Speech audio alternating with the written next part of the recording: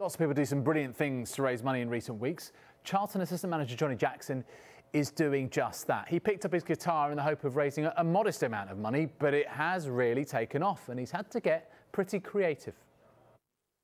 Just a bit of fun, and I ended up sending them on to, to a couple of people um, who then encouraged me to try and get them out there, which you know I was a bit reluctant to do because I've never never sung publicly, I've never played publicly.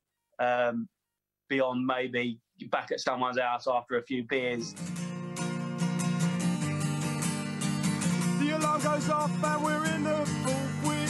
Still don't know if we're anywhere near the peak. I watch the news and the daily briefing. I get the same old sinking feeling. I said that's isolation. That's isolation. Oh.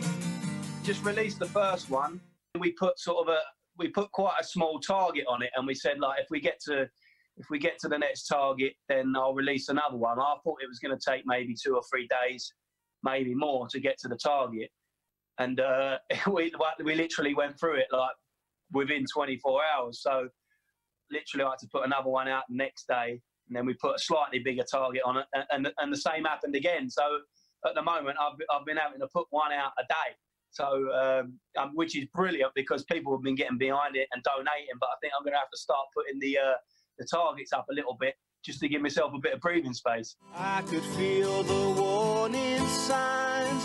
Divorce will be on the rise.